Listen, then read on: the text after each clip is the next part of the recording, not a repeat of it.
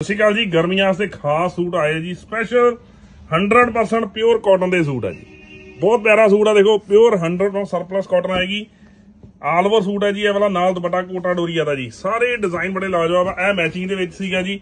ਕੋਈ all over ਹੈ, ਕੋਈ ਮੈਚਿੰਗ ਹੈ ਜੀ। ਦੁਪੱਟੇ ਨਾਲ ਕੋਟਾ ਡੋਰੀਆ ਦਾ 100% ਪਿਓਰ ਕਾਟਨ ਇਹ ਦੇਖੋ ਕਿੰਨੀ ਸੋਹਣੀ ਸਲਬ ਕਾਟਨ ਆ ਗਈ ਜੀ। ਬਹੁਤ ਹੀ ਜ਼ਬਰਦਸਤ ਸੈਲਫ ਕਾਟਨ ਹੈ ਬੜਾ ਹੀ ਸੁਪਰ ਫਾਈਨ ਫੈਬਰਿਕ ਹੈ origignal ਕਾਟਨ ਹੋਏਗੀ ਤੇ ਨਾਲ ਦੁਪੱਟੇ ਕੋਟਾ ਡੋਰੀਆ ਦੇ ਵਿੱਚ ਟਰਾਈ ਡਾਈ ਦੇ ਵਿੱਚ।